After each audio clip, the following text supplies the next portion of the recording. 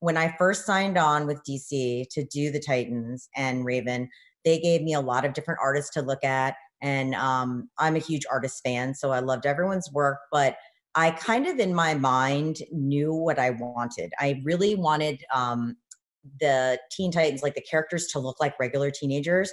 Mm-hmm. And I had seen Gabriel's work on Pinterest. And I showed it to one of the editors and I said, I kind of want this. And they said, Well, no one really does this except for this kid. And what Gabriel had done was, as a fan, he had started drawing his own Teen Titans in regular clothes Nikes, you know, hoodies with their backpack, t shirts. Totally. So like um, cool. um, his Starfire was like a NASA t shirt. Yeah. So I just figured, you know, I was giving them a reference and they said, well, we're going to contact him. And which I thought was totally cool for a big company to be like, we're going to contact, you know, this guy who isn't a traditional comic artist. Yeah. And um, it was problematic. Gabriel did not respond to several emails. He thought it was a prank. Playing and hard I, to get, huh? Yeah. And I said, what made you think it was a prank? And he said, well, it was the logo.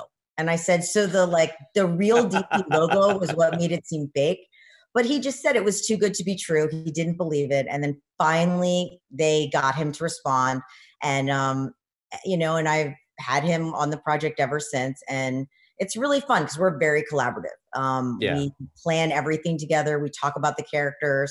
I really believe that like the artist is my co-author basically because mm-hmm. the art is also Absolutely. telling the story. So yep. we have a lot of fun. Um, but he was dying to do Beast Boy.